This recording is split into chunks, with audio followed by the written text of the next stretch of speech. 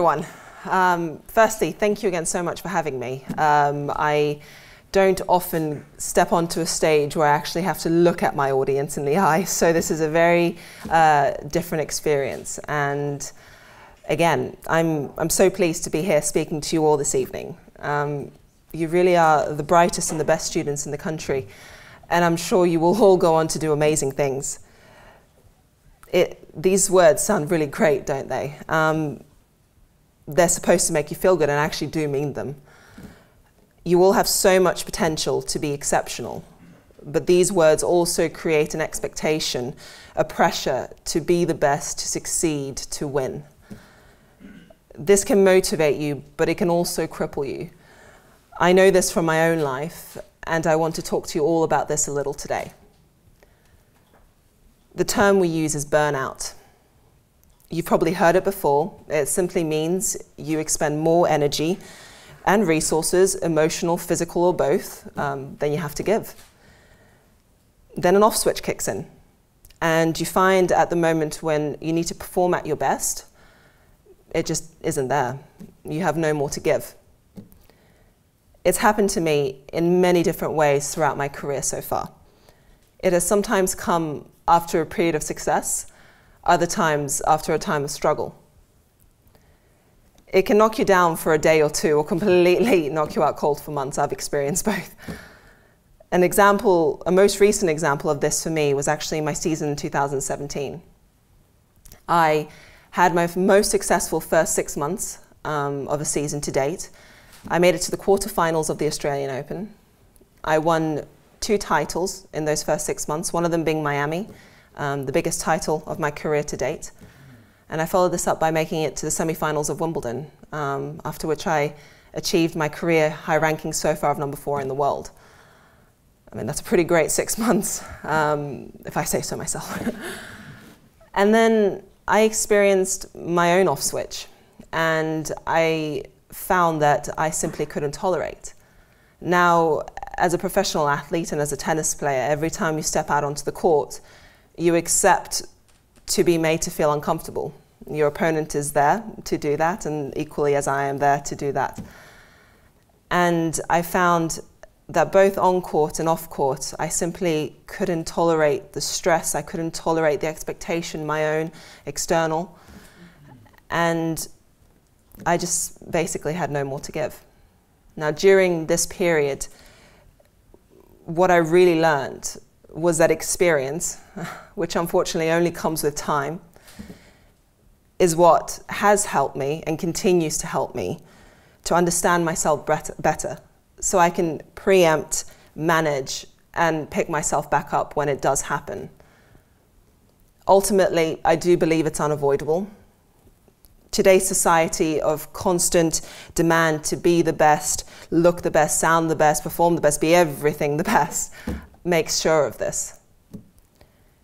If you are in the pursuit of excellence in your field, your biggest asset will be your perseverance. In the world, sorry, in the world of sport, and in my case, tennis, perseverance comes through in its rawest form. You quite literally just have to be stronger, high performing physically, mentally, emotionally than your opponent. That has a cost, and I can track it back through my career. It's heartbreaking when you realize you have pushed it too, too far and you need to stop, regroup, self nurture, rest, and remind yourself to put it all in perspective. That can be very hard to do sometimes. My passion for my sport and my desire to bring the most out of myself is ultimately what has kept me playing. I've had plenty of opportunities to quit, definitely more than I have had to succeed. But because I've had an unwavering, unconditional love for my sport, that the only option that made sense was for me to keep going. This is also ironically where the pressure comes from. It's not just external from competitors, media, fans, but it's also from within yourself because passion drives the desire to do your best. the biggest thing I have learned is that I need to be proud of who I am and not what I have done. And trust me, that's a lot, e- lot easier said than done. I have a childhood dream of becoming number one in the world, winning all four Grand Slam twice, and while we're at it, let's add a gold medal or two. I promise you it still is, and I work towards that every single day. However, I've discovered that my priority in life has to be my happiness. And this happiness to be in place regardless of whether my childhood dream comes true or not. If you are proud, and quite frankly, however cheesy it sounds, love who you are, then the results of your hard work will not be where your satisfaction comes from. It will be the work, the blood, the sweat, the tears you put in that at the end of the day will, will make you feel proud of yourself, will make you keep you standing tall. The world judges people too quickly, arbitrarily, and often way too harshly on the outcome. But if you are judging yourself by the daily application of the work you put in, and you take responsibility for that work to be done, because there are definitely no shortcuts, and you continue to remember to be kind and nurturing to yourself along the way, then you give yourself the best chance of achieving the results that you want. And you do this without hurting yourself in the process. This process to me was my own personal growth. And I promise you it continues to this day and will continue on for the rest of my career and whatever comes next. Thank you.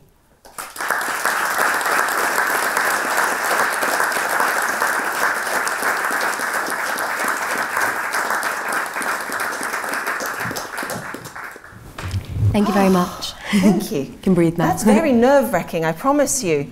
Like I said, I'm, I'm used to even on court interviews, but having given a speech, I mean, I haven't done that in a very, very, very long time, let's just say. so, whew, I'm very, I feel quite proud of myself there, if I say so myself. we'll start with a few questions from me, and then, like I said, we'll move yes. out to the audience. Um, so if we start at the beginning, when was it that you first knew that you wanted to play tennis professionally? And was that a scary decision to make? Were you considering other things at the time?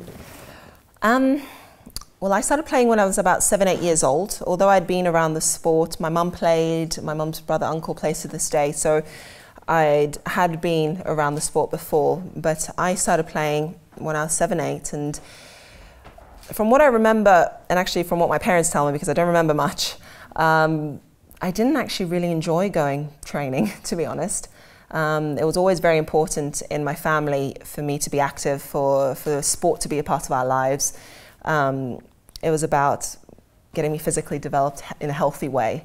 And it was not until I played my first weekend tournament where I got the bug. And at the age of nine, I decided I want to be number one in the world, and that was that. Now, a lot has happened in between then and now. A lot of, uh, a lot of sacrifice from myself and, in particular, my parents to enable me to have this opportunity to pursue my dream, because that's what it is. And uh, I've completely lost now track of what the question was. Just basically, when when did you decide that you wanted to play professionally? Nine. Nine. Nine years old. Your playing style has been described as focused on offensive baseline play. Mm-hmm. Was this something that came quite naturally to you, or was it something that you learned through coaching and through training? I think a combination. I do think a player's game style is very also true to their personality. Now, I'm not sure if that means I'm an offensive person. Who knows? We'll see how this goes. Um, but uh, I definitely am someone who who likes to be in control, who likes to dictate, and I think that definitely comes through in, in my in my playing style. Then ultimately, obviously, the coaching you receive um, also enables you to hone in those skills that you naturally possess, um, like all players do. Um, so I, yeah, I definitely think it was a combination. A combination. Yeah.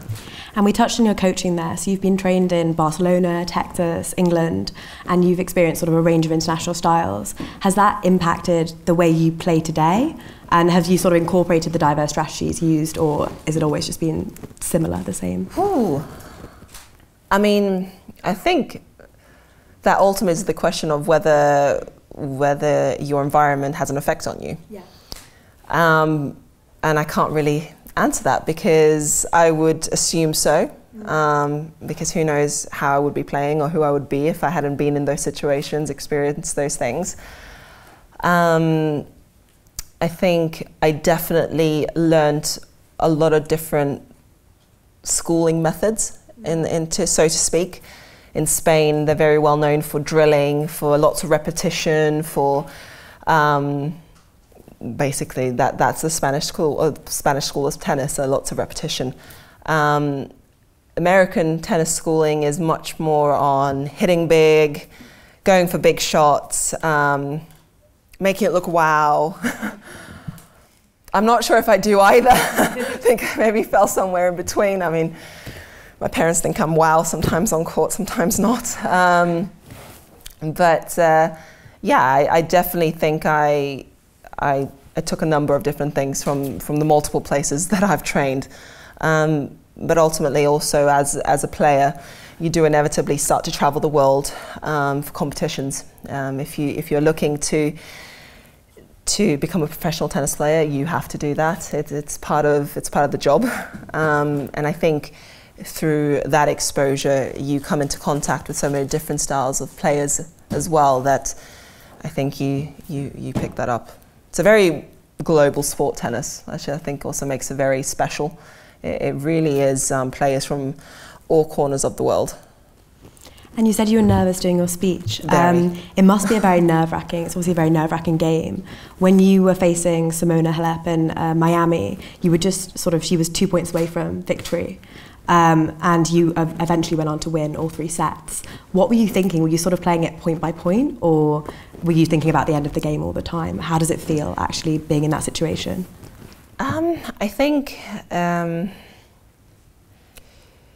when you step out onto, onto the court, you you accept the, respons- the responsibility that you are going to be playing against someone else who is out there to win, like you, and and it's going to be a tussle. There's going to be an arm wrestle. It's it's you're you're going to go out there with your apparel and your your game plan and and your plan B and plan C and plan everything, and you're going to throw everything at them, including the kitchen sink, and you're going to try and come out on top.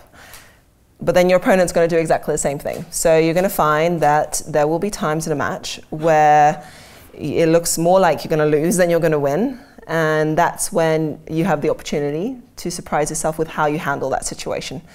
So if you are two points away from losing a match, you might lose it, but A, you want your opponent to win it, first of all, and if they do, well done, you deserve that, I'll get you next time. Or, you know what, I can show my strength of character, how brave I can be, and, and you know what, I, I can still come through this, why not? Um, they always say, you know, it isn't over until the fat lady sings or until you shake hands. And I mean, to be fair, that's very true. It's not over until you shake hands. And if you have enough clarity of mind to keep that in perspective and you're clear on what you're doing and you trust that, um, then it doesn't matter if you're two points away from winning or losing, you should be approaching each point in the same way. So it's all about keeping your composure definitely keeping composure and, and keeping good perspective and, and keeping, I mean, it definitely sounds a lot easier than done, a clear head. I mean, how many things, how many stressful situations, how many really just, yeah, difficult situations we experience where all we really want is a clear head to be able to just really um, find the best way out possible. And, and that definitely comes through in a very raw form in sport and in tennis when it's very active chess. Yeah. and I just thought we could finish on the issue um, mm-hmm. of equal pay in tennis and mm-hmm. in sport more widely. I know you've been an advocate of this. Can you tell us how much opposition you actually face with this and um, what that's like? Um, I mean, I have a fundamental belief that if a man or a woman does the same job, they should get paid equally for, for that job. Um, I think there's a lot of external issues that, that encompass equal pay. Um, there's a lot of different opinions, um, and I, I feel that as long as we keep making the stride to make that known, that if I do the same job as my, my male counterpart, that I should get paid equally for it. Um, I think it's been the biggest topic of conversation in Grand Slams, um, which is actually ironic because I don't feel that actually the major issue is there.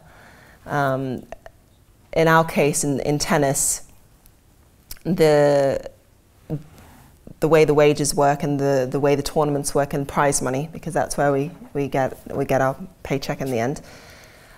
The the men have a many much much more opportunities to compete. They have a lot more tournaments, so to speak and the um, amount of money that is made available in those tournaments a lot higher. Now, there's a lot of arguments for why that is, and some I'm, I'm sure are true. Um, but at the end of the day, we obviously take home a lot less than the men do um, which can be sometimes hard because in those tournaments the men play best of three sets. So the biggest argument that comes up is men play best of five in slams, women play best of three, men should get paid more. On paper, I actually agree with that. I think, okay, the men, you're playing more than us, then yeah, you should be paid for more. I, I fundamentally believe that we should get paid equally for the same work. If you're doing more work, yeah, get paid more. However, people don't always take into account that matches aren't also counted on sets, they're also counted on time. Now, I've played plenty of three hour, three and a half hour matches in my time, best of three sets, and the men have finished their match in two hours, best of five. So I think there's that also needs to be taken into account that it's you know it's it's not all about how many sets you're playing, but let's then look at the court time. Let's look at how much, yeah, how much value the fans are getting. At the end of the day, it's it's the, the money that the fans bring in, the spectators that also bring in uh, bring in the money. Um, so I I sit on the fence with that in that perspective, um, but also I think why the men have a lot more resource available is also the way culture is around female sport. I think it's changing. However I think um, sport was always very much a masculine industry. I mean, it still is mainly. I mean, first of all, tennis is not heard of in this country except in the summer. There's football and rugby. We all know that. I follow too. Okay.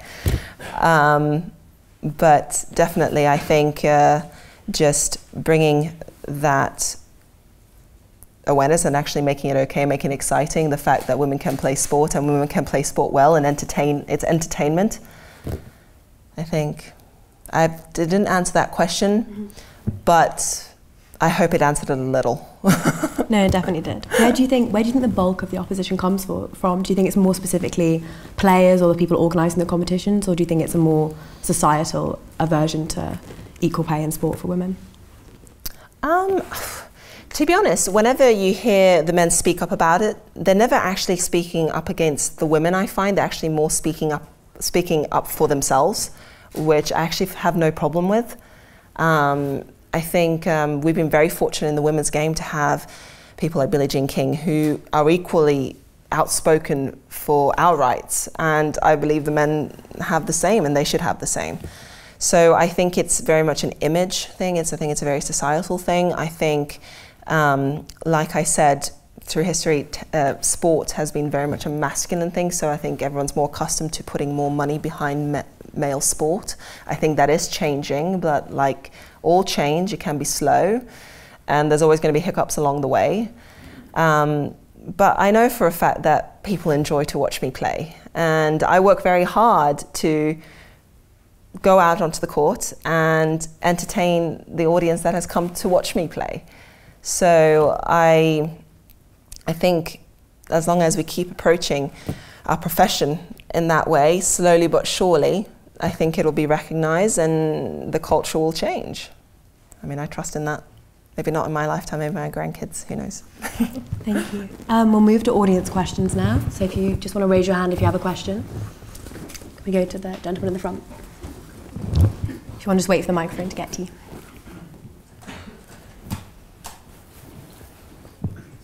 Thank you for your talk. Oh, thank you. Um, I hope it was okay, actually. I'll need feedback at the end. Um, I was wondering, um, you've got many years of your career left, but when you look back on it, what kind of legacy would you like to leave um, on the sport? Um, I think I'd.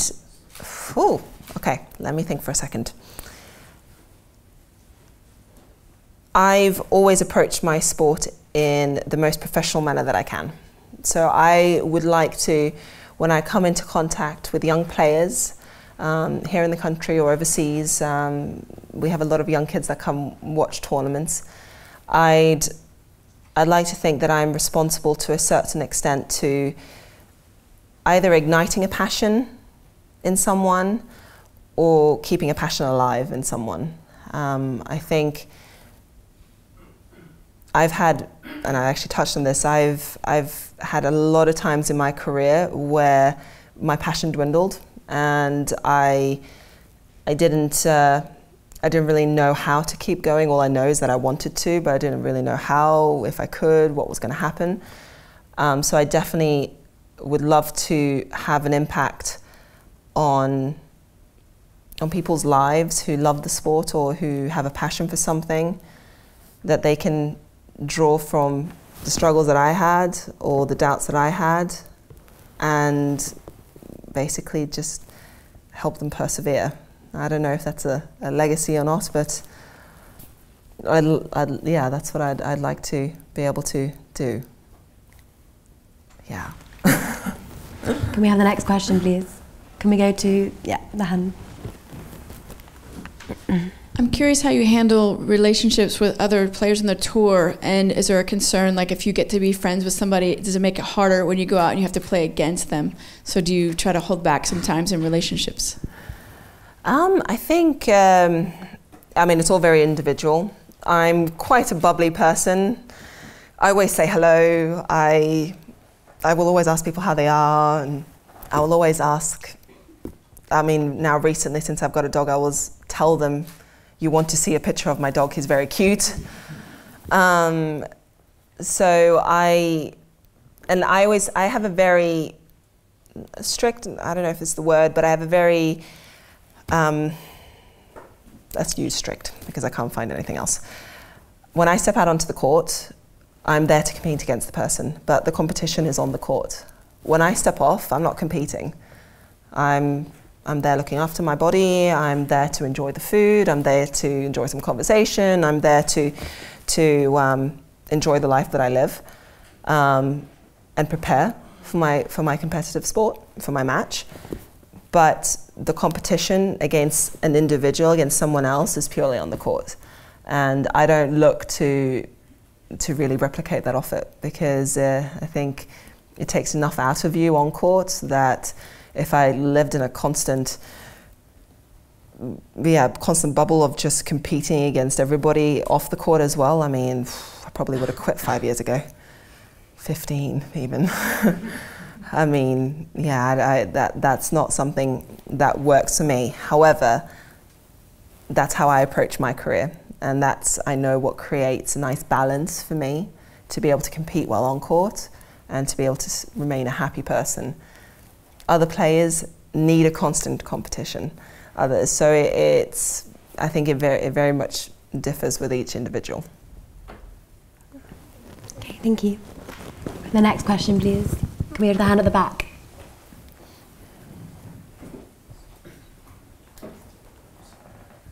Hi, Johanna. Um, Hi. Enjoyed your talk. Thank you. Um, apologies, I think this subject has been beaten to death already, but I've got a question with regards to the US Open final of Okay. Naomi Osaka versus Serena Williams. Um, first of all, from a black and white rules, black on white rules pers- perspective, was the chair umpire wrong or right? And then secondly, if you wouldn't mind sharing your personal opinion about what happened there. Don't worry, I'm used to beating to death questions. I mean, I, we travel with media that literally ask me the same question every single week. So I'll find a creative way to answer. I mean, whew, that's, a, that's, a, that's an explosive topic. Um, I need to remain politically correct now. Um, I think I think there's a number of different elements that need to be taken into perspective, um, into perspective, into account. Sorry, into account, and one of them being um, the umpire was right. The um, Patrick Mouratoglou was coaching. He said so. Um, he gave a coaching violation. Um, I think that has to be taken separately to then what happened after. Um, now, one thing that is 100% for certain is that emotions are always incredibly high in a match, and I would I would imagine so because I've never been in a Grand Slam final, um, but definitely more so in a Grand Slam final. And everybody's human, including Serena Williams. Um, and I think the US Open just brings it out of her. I mean, she's been disqualified once before at the same event, so bless her. I think she, I think she feels, I think she feels, uh, she feels the stress there. That's for sure. However, I think you've also then got to look at the umpire. Uh, that, that specific umpire is a stickler for the rules, and he gave he gave coaching violations to Djokovic, to Nadal in different slams. Now, I, I think, like I said, I'm all for equal rights, but I am for equal rights. So I don't necessarily always agree when you don't like something, you brush it onto the inequality carpet and you say, it's because I'm a woman, I didn't get this or I, I don't necessarily always agree with that approach. I think I think if you would look at the umpire's history and if that would stand out, then yeah, there's an argument to that. But actually, I think they took the stats of specifically the US Open, and the men actually got significantly more violations, codes, than the women. The women are just better behaved, obviously. Um, However, one thing you cannot take away from Serena is how passionate she is about women's rights. And it is because of people like her and Billie Jean King, who I've mentioned before, that conversations are started, topics are put in the forefront, and change can be made. Now, I don't believe that was a sexist issue personally. I believe it was emotions running high and things and things just snowballing. Um, that's that's what I believe. Don't hate me, Serena. um, but uh, but yeah, I think it's it's always a really tough topic because everyone's got their own opinion, and I truly believe that what's good about democracy is that you listen to your neighbor's opinion, and if you don't like it, you accept that and you move on.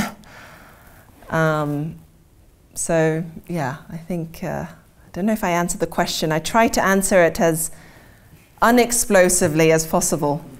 I think you were very diplomatic in the way you answered Well, kind of. Well, I mean, obviously, I, I, I mean, I, I, think I stuck to my opinion because that is my opinion.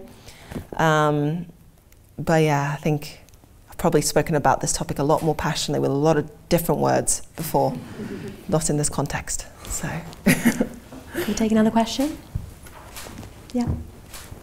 Uh, so, being British number one and obviously having like an exciting game style that brings you fans, have you had any kind of weird or uh, fan encounters that stick out to you? Oh, weird and wonderful. I mean, uh, bless her heart. I don't want to categorize her as weird. I just say no, not, not funny. I would say she is just very enthusiastic. I have, a fan account, a fan page in China. I'm big in China, guys. Um, and this, this girl, I think she's my age, so woman, although girl, I call myself. And she comes to every tournament that I play in China. She brings me gifts. Oh my gosh, I got a pillow with my head on it. I've gotten, I got a puzzle this year, an actual puzzle of me holding the Miami trophy. All these gifts are with my parents. They enjoy them, right, mum, dad? You're like, yes, yeah. Um, but so I think she definitely takes the crown of just best fan. However, I then have another fan account holder because I'm just a big deal. and this fan account holder is in France, and she, I kid you not, is probably my biggest vocal supporter I've ever had. I think she supports me more than my parents. I think she, she supports me more than myself, than I do myself. Every day, or when I've lost a match, all I get from her is, "We love you. You are such an inspiration. Keep working hard." And honestly, I just I feel so much better about life, just the fact that she exists and has this fan account.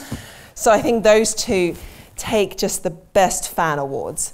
Now, weird and wonderful. Um, my partner, he, he helps me manage my social media, so he gets to filter through a lot of the, uh, the weird and wonderful. So I had, I had one gentleman, we think, we never know on social media, who knows, um, who I'm pretty sure would propose to me. I'm pretty sure, I mean, I can't guarantee, but I definitely got the feeling that things were going somewhere. it never evolved. I think Jackson's happy about that in the back, but. Is that when he took over the social media? That's, that's when he took over the social media, and I'm, I'm on a short leash now, so. Yeah. Can we take another question? Um, yeah, hand here. Um, there's obviously a big problem with girls taking part in sport generally, um, and also tennis specifically. What inspired you when you were younger, and how can we encourage girls to take part? So, I grew up in a household where we have two rules. Number one, mum is always right. Number two, in the instant that she's not right, number rule number one comes into effect. So there was never really a, a, feeling that I couldn't do something because I was a girl. Because let's be honest, dad was outnumbered always. Um, so my parents loved sport, can love sport to this day. It was always going to be and I was always going to have the opportunity to play sport because they wanted it for me, and I'm forever grateful that they did. Um, and because I was growing up in that environment with them, when my passion for my sport progressed um, into something bigger, into a bigger dream, I never hit an obstacle or a hurdle from them. And definitely in the first part of my life, they're my biggest influence. Um, so I was always supported in this passion, and I, I count myself very lucky for that. Now I know not all girls get that opportunity, um, and I think as we grow awareness for the wonderful things that women in sport can do and can achieve and that can bring to the table and that can entertain, I think that will give a bigger platform for young girls to see role models, to, to see opportunity in, in that field, in that work, in, in that passion. And I think it hopefully will keep girls in sport for longer um, because it's nurtured, because it's, it's encouraged. Um, I try to do that with whenever I see young girls or see girls playing. Um, whenever I meet them. Um, but definitely, I think um, creating a more acceptance of women in sport and the fact that it's an amazing thing, I think will also educate a lot of parents to, whether they want to or not, encourage them, encourage their kids to, girls to get into sport. I think. Take another question? Yeah, just right next to you. If there's one rule you could change about tennis, what would it be and why? I mean, I always get time violations. I mean, all the time. I just, I, I'm a really prompt person, but I guess not in tennis. I'm always late. So I would love for it to just, can I take my time? Can I literally just take my time? Um, but any other rules specifically? To be honest, I love tradition. I um, uh, yeah, I love routine, love tradition. So I wouldn't actually necessarily change a lot of rules. When a lot of rule conversations come up, I'm always usually for no, keep it as it is. It's wonderful. No, why would you change it? Um, so actually, I don't know. But besides the one that affects me personally, I feel quite passionately about because the amount of conversations I have with umpires of really four seconds, really okay. Um, otherwise, no.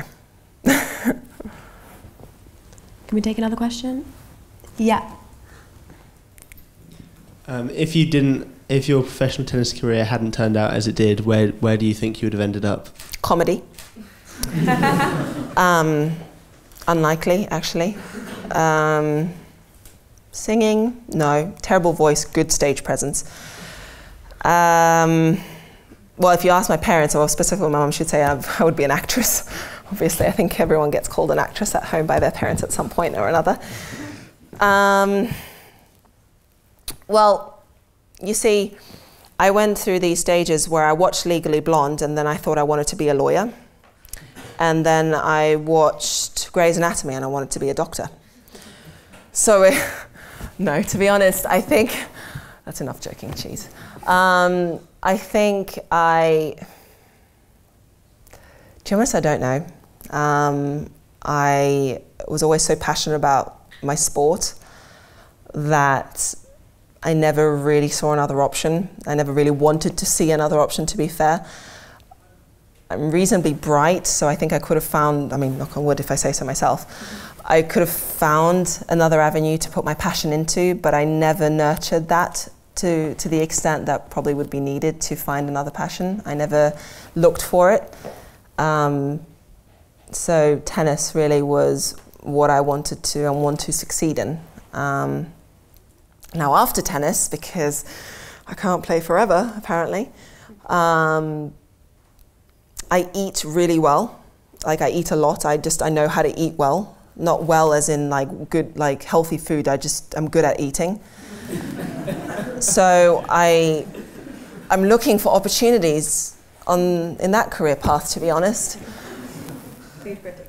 I mean, food critic. I mean, if people just want to pay me to eat, I don't mind. Um, but yeah, no, I'm definitely interested in um, the food industry. Um, yeah, I think I'll be heading into setting, trying to set that up for myself. Yeah. yeah.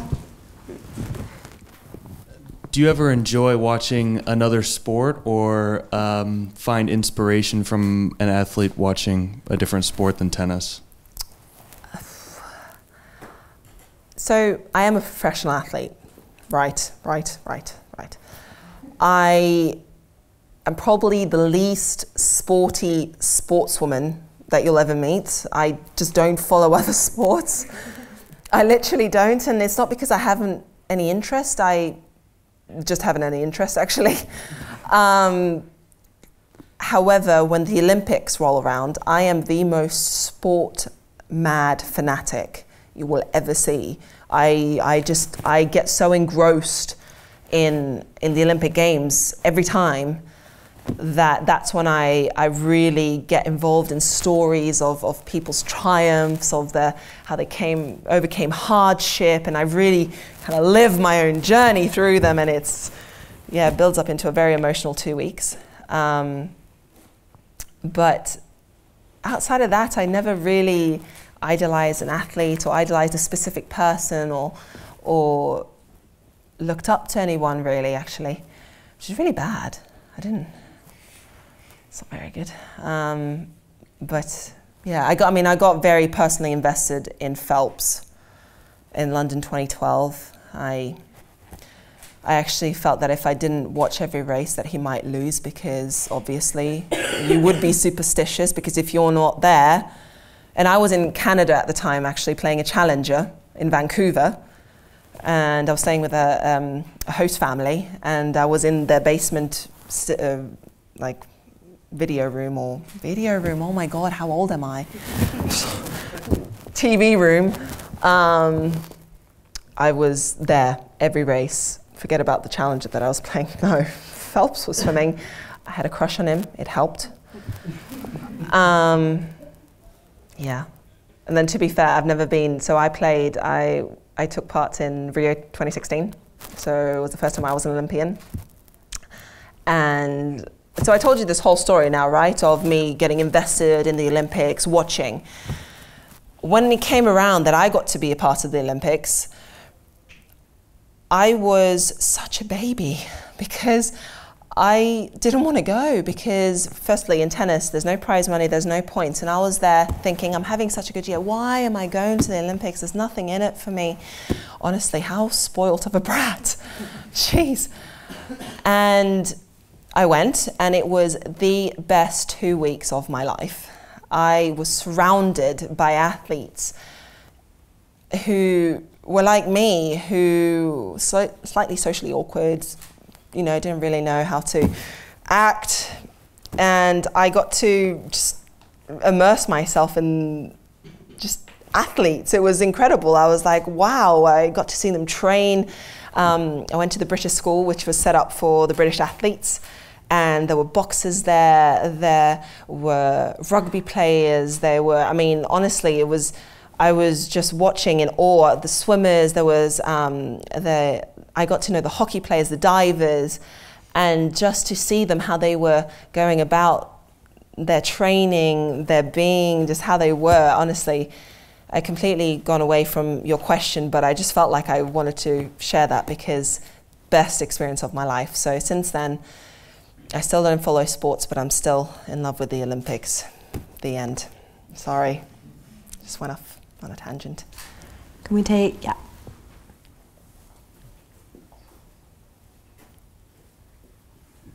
Um, I like the uh, topic of your speech because I think it has universal application, mm-hmm. and it'd be interesting because we're also often told how at the top of the game the mental part is very important. Yes. So it'd be interesting to hear your thoughts on that, and perhaps how you've managed to lift yourself out of, uh, you know, dips in in your mental positions.